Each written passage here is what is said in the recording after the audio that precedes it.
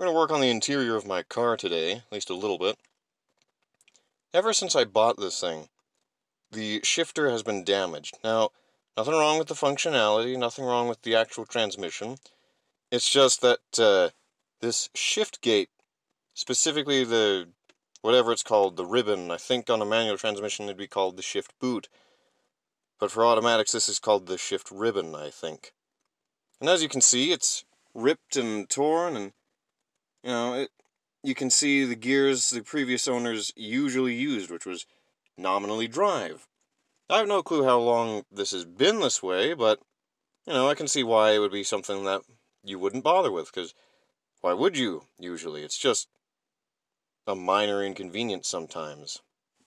One of the problems with the shifter being damaged like this is that, while it still functions, sometimes it won't let you take the keys out even when it's in park.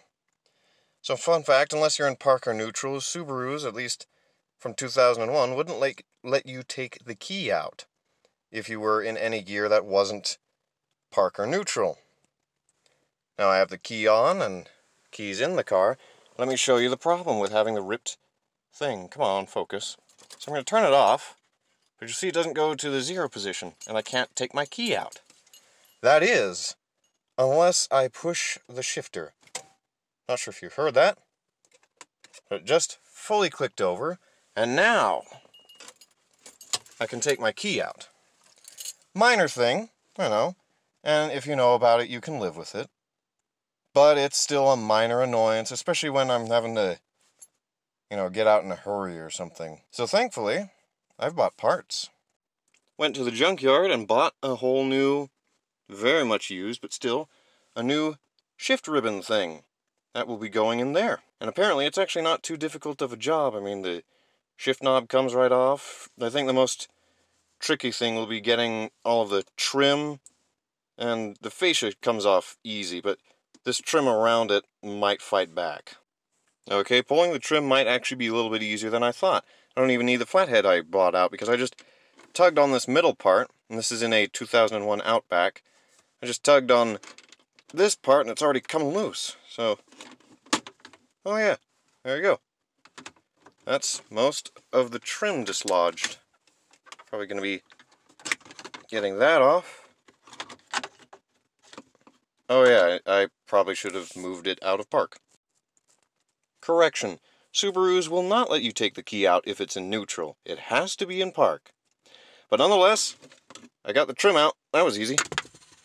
Now it's just the shifter and the fascia thing. And if you don't know, uh, let's see, which way does it go? There we go.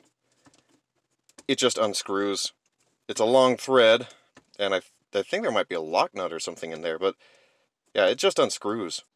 Apparently you don't even need at least I didn't need, a flathead screwdriver to pop that fascia off. And I just tugged on the passenger side and I was surprised when it leapt right off the thing. As you can see, yeah, that's what's left of the original shift ribbon. Oh, I should probably stick my keys back in, but yeah, there's not a lot left. I mean, there's a bit of a shift pattern. Hope nothing's down in there and jammed up, but yeah, there's the old shift ribbon. Good grief, is that mauled. But uh, yeah, that was easy. And I guess if you have issues with your uh, uh, your shift quadrant indicator not lighting up, now's your chance to replace the bulb because it's just right there.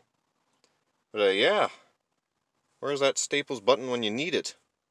That was easy. You know, it's almost like they designed this thing to be easy to assemble because I can reach with my left hand. This just clips in and I just looked at the underside of the trim and I mean that's got metal clips. That's not supposed to break when you shove it in on the production line.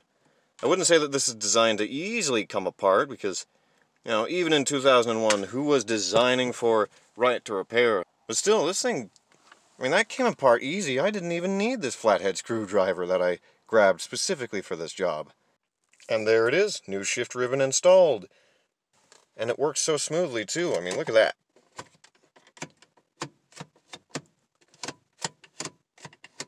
And I think the one part I wanted to solve, the uh, clicking over when in park. And I'm just going to lift my foot off the brake so you can hear it. There we go. I can now take my key out just fine. Look at that. Problem solved. Now I just have to put the uh, the knob and the trim back on, and that is a pretty easy job, actually. Yeah, there we go. All back together. All fixed up and looking brand new again. I mean, that, I think, is quite an improvement from that ripped ribbon thing that was in here. And, yeah, just, just listen. It'll actually click over and allow you to take the key out. It's all fixed. I can go through the gears all smoothly. And, you know, so that's nice. Job done, I suppose.